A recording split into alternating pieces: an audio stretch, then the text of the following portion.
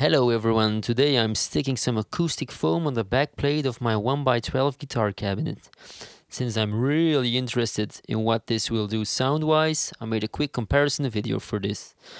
First, I'll let you hear how the cabinet sounds with an open back, then you'll hear how it sounds with a closed back, and after that, how it sounds when the foam is placed inside the cabinet. Guitars are recorded through an EVH 5150 III on the red channel, the microphone is an SM57 and the speaker is a Celestion Lynchback. Let's hear how it sounds with an open back.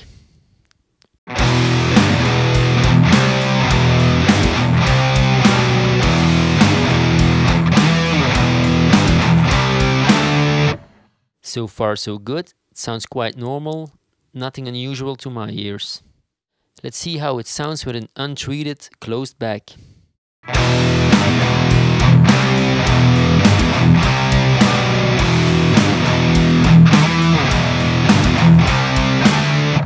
If you A-B compare them, I can hear a slight difference, there is more bass, and the mids and treble sound a little bit different.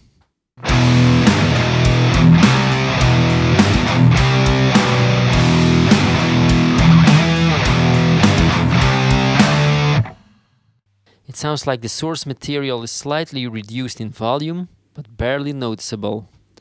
It might just be because the high frequencies sound a little bit smoother to me, which may cause a small drop in volume. Maybe it's just placebo. What do you guys think? I've used some low pass and high passing EQ on the guitars so it fits a little bit better in the mix. To give you a better idea of how it really sounds, let's listen to all of this again, but just the guitar tracks without any EQ applied. If you enjoyed this video, please give a thumbs up and subscribe to my channel.